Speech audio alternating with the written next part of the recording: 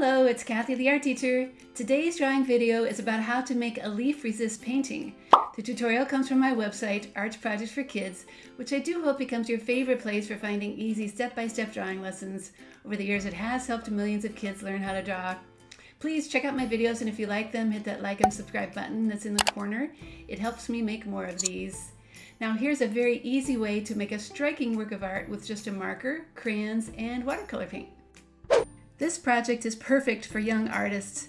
You just need to draw a big leaf, fill it with patterns on the inside and outside, and then paint over everything with watercolor paint.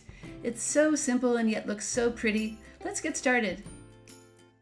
The supplies you need for this project are watercolor paper, a pencil, black permanent marker, crayons, and watercolor paint. You can also download this matching PDF tutorial from my website.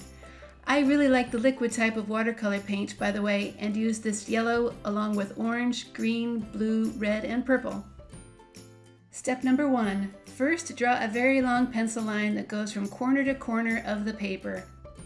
Step number two, now draw about four large V shapes that are sitting on that line.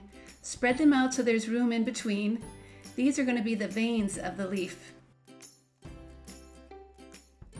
Step number three, starting at the top, draw the leaf fingers with a dip in between each line. Try to make the tops of each finger touch the end of each line. Now draw the left side of the leaf the very same way. The dip in between doesn't always have to be the same, it can vary.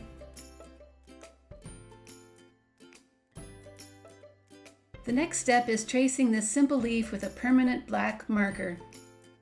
Make sure that it's a permanent black marker so it doesn't bleed when it gets wet, and be sure to press hard to get a nice black line. Step number four. Now all those closed leaf shapes need to be filled in with crayon patterns. I'm starting with lines, but you could draw any pattern you want. My next section is going to be filled in with lots of loop-de-loop -loop lines.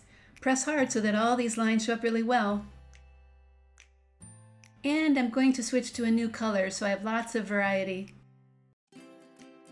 Step number five, swirls are a really fun shape to draw.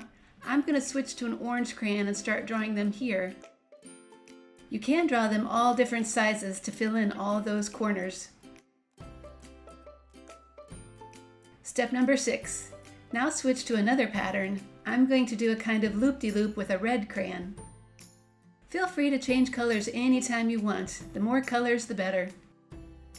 I'm going to finish with stripes again, but using a yellow crayon this time.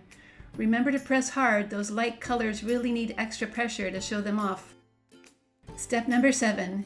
Now it's time to add your favorite shapes to the background. You can certainly change crayon colors here too. Just be sure to continue to press hard. Step number eight. Now to add a little more energy around the leaf, draw a loose outline around the entire shape. Next, add another outline with another color. It doesn't need to be perfect, the more wobbly the line, the better. And now add a third outline in another color. If the line goes off the page a bit, that's just fine. The goal is to have the paper filled with lots and lots of colorful crayon lines. Step number nine, now it's time to paint. This is what liquid watercolors look like in case you're not familiar with them. Start by filling in the leaf with your favorite color and washing the brush in water in between so the colors stay nice and clean. If you make each section a different color of paint, it will really show off all those patterns.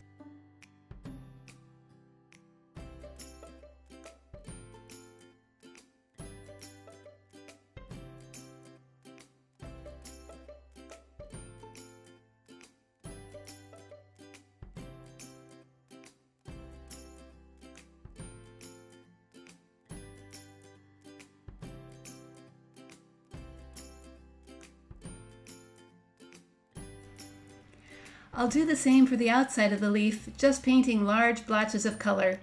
It's okay if the colors overlap a little bit. This will let them bleed together in a really pretty way.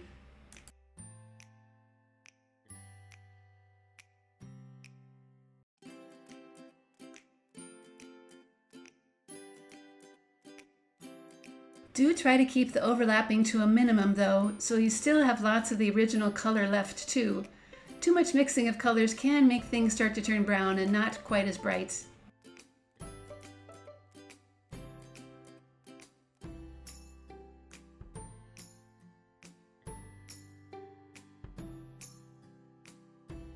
And that's it. This leaf resist painting is done. See how pretty it is when the colors run together to make their own shapes? That's what watercolors do really well, and this project is the perfect lesson to try that out for yourself. Hey, thanks for following along with me, and I hope you've enjoyed this drawing video tutorial. I do have even more tutorials like this one on my website, Art Projects for Kids, including how to draw a leaf and how to draw a tree. I hope you check them out too. See you next time.